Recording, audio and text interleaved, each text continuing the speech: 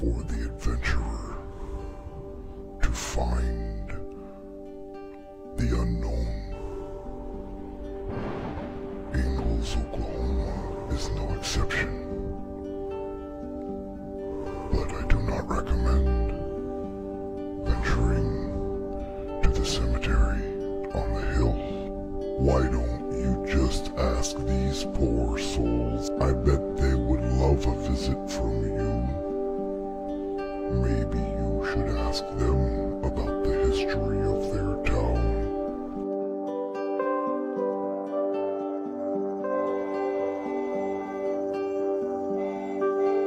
Created on land that was once part of the Creek Nation, Payne was one of the first counties established in Oklahoma Territory by the Organic Act in May 1890. It was first designated as the sixth county, but was later named to honor boomer leader David L. Payne.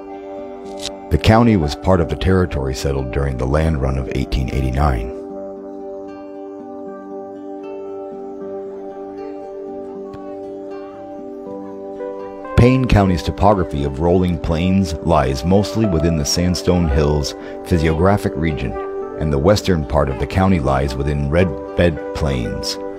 The Twin Mounds limestone topped hills lying east of Ingalls is the most noticeable feature.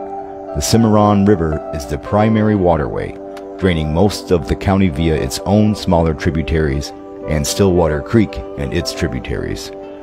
Prehistoric occupation of the region has been revealed in various archaeological sites in the county, including four of the Archaic period region, 6000 BC to AD 1, two woodland sites, AD 1 to 1000, and two Plains village sites, AD 1000 to 1500.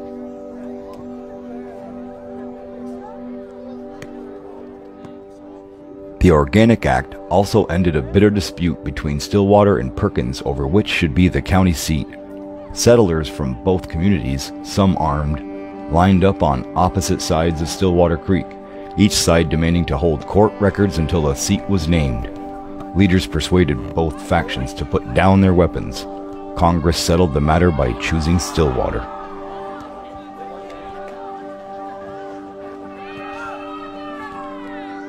As the Sac and Fox and Iowa reservations were opened to non-Indian settlement in 1891 and the Cherokee Outlet by 1893 run, Payne County's borders were expanded by adding several townships of the outlet and several miles of land south of the Cimarron River. These openings also created new counties that now border on Payne Noble, Lincoln, Creek, and Pawnee. Logan, on the southwest border, was one of the seven original counties. These changes made Payne a part of north central Oklahoma.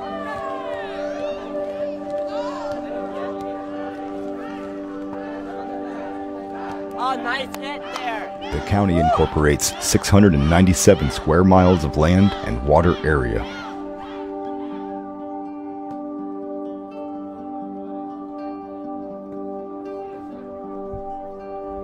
From 1889 to 1902, 33 post offices were set up in the county, some of which disappeared within a few weeks. As this occurred, leaders emerged who had great influence on the county's history and its government.